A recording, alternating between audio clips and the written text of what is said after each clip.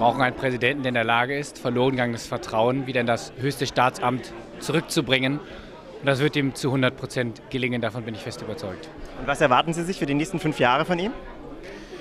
Große Reden, manchmal auch streitige, damit aber immer auch Denkanstöße und darauf freue ich mich sehr.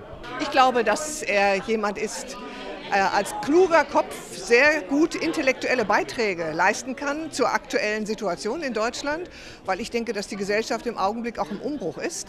Da ist er ein sehr guter Mann und ich halte ihn auch äh, für einen äh, sehr gut integrierenden Menschen.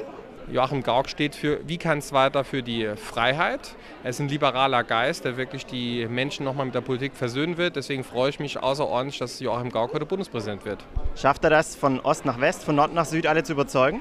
Auf jeden Fall. Also wer ihn live erlebt, sieht, dass er wirklich sehr, sehr überzeugend ist. Ein hervorragender Redner, eine tolle Persönlichkeit. Also wir können stolz auf solch einen Bundespräsidenten sein. Ich finde, Herr Gauck bringt genau das, was wir brauchen. Er ist ein überzeugender Demokratielehrer und er kann auch sehr gut den äh, Zusammenhang zwischen Freiheit und Verantwortung unseren Bürgern erklären, lebendig erklären, sodass sie ihn auch für sich als ganz wichtig begreifen. Und was erwarten Sie sich für die nächsten fünf Jahre von ihm? Ähm, ich erwarte mir, dass er sehr streitbar durchaus sein wird, glaube ich, und ähm, ja, so die wirklichen Konfliktfelder in unserer Gesellschaft auch anspricht. Gerade auch das Spannungsfeld zwischen Freiheit und Sicherheit, Freiheit und Gerechtigkeit. Ich glaube, da können wir auch durchaus interessante Debatten erwarten.